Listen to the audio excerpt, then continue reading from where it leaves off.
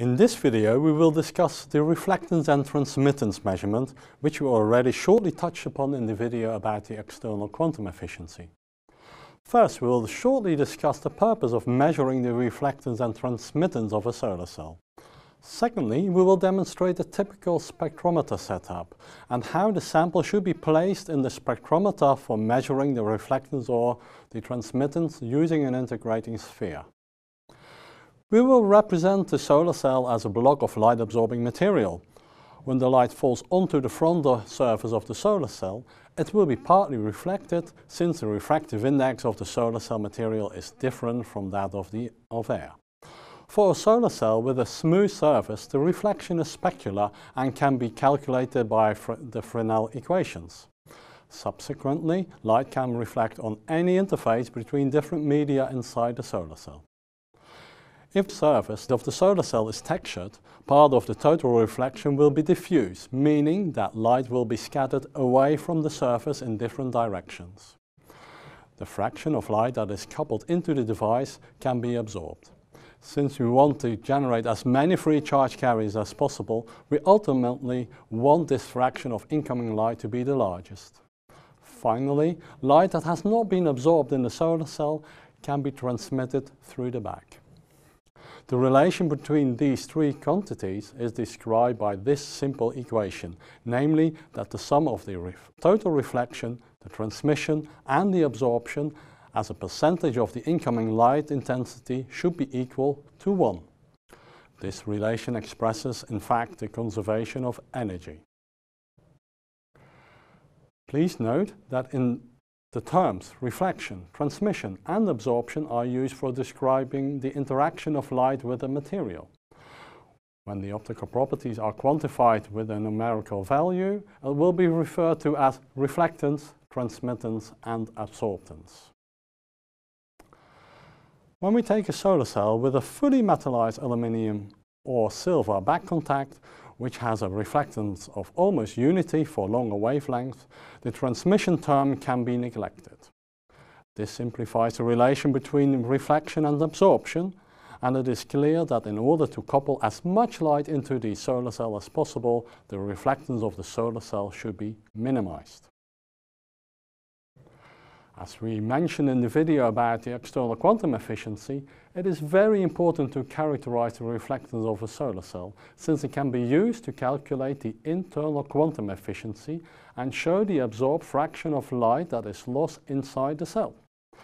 Note that a combination of reflectance and transmittance measurements can be used also to determine the wavelength-dependent refractive index of materials, which can in turn be used for optical simulations.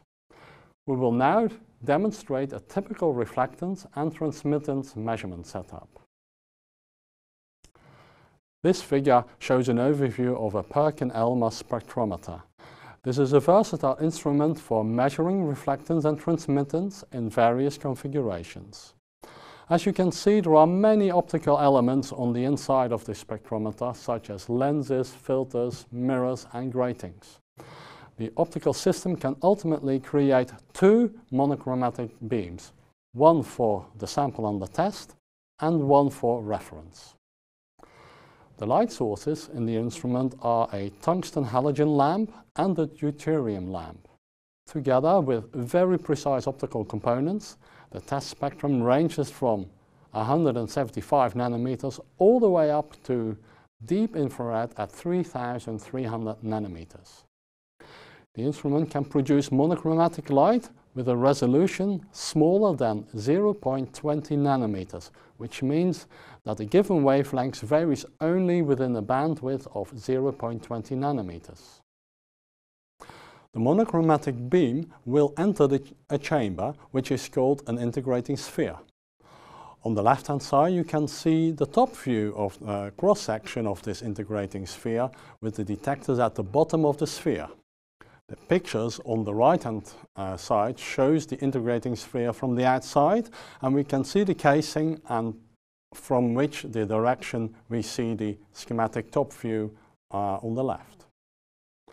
The interior of the sphere is coated with spectralon, which is a highly scattering and reflective material. If light enters the integrating sphere, it will reflect multiple times and scatter in all directions.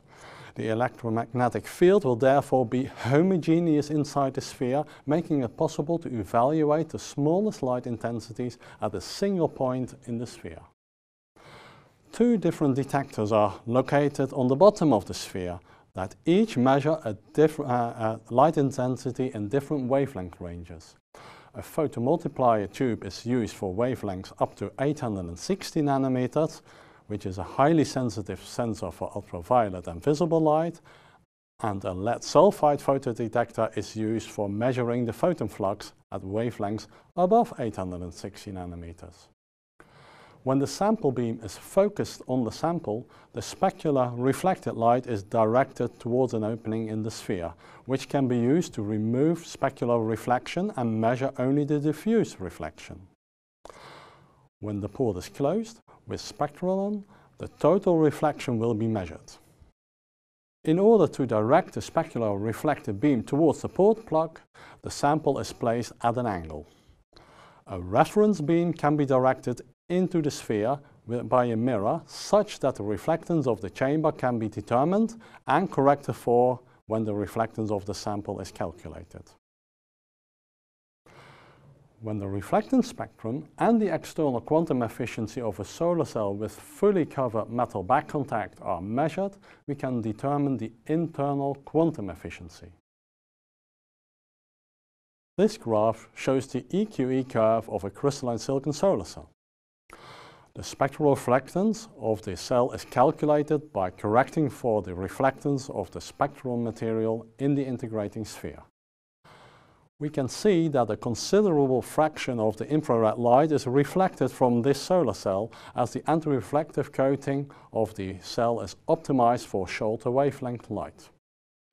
The reflectance peak in the blue part of the spectrum explains the pale blue appearance of this particular cell. The internal quantum efficiency is calculated by dividing the external quantum efficiency by 1 minus reflection minus transmission, which represents the absorbed part of the spectrum as we explained in the introduction. For a solar cell with a fully metallized back contact, the transmission can be neglected. As a result, the green area in this graph represents the fraction of potentially collected charge carriers that is lost to reflection, as the IQE only depends on the absorbed photons. When the transmission of a solar cell or material is measured, the sample is placed at the beam opening. The opening for the reflectance measurement will be closed with a spectralon. Again, a reference beam is directed into the integrating sphere to correct for the reflectance of the spectralon in the chamber. We will now show the measurement procedure on a spectrometer system to determine the total reflectance of a crystalline silicon solar cell. Here we see an overview of the spectrometer with the light paths of the sample beam and the reference beam on the left and the integrating sphere as a black box on the right. After measuring the reflectance of the integrating sphere, the spectralon sample is removed that close the opening for the reflectance sample.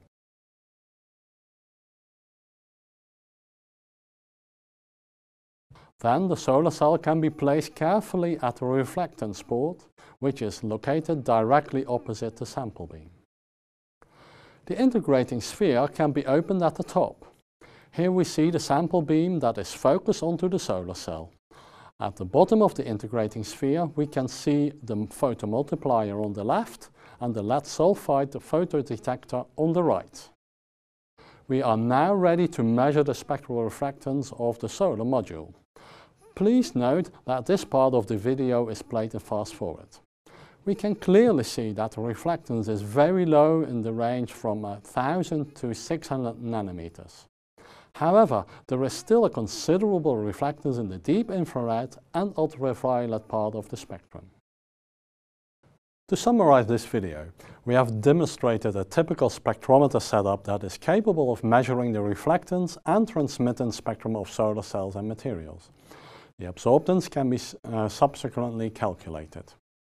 We demonstrated how the reflectance spectrum is used together with the external quantum efficiency to determine the internal quantum efficiency of a solar cell. And finally, we have shown the various configuration options of the integrating sphere, which is coated with the perfectly scattering spectralon material.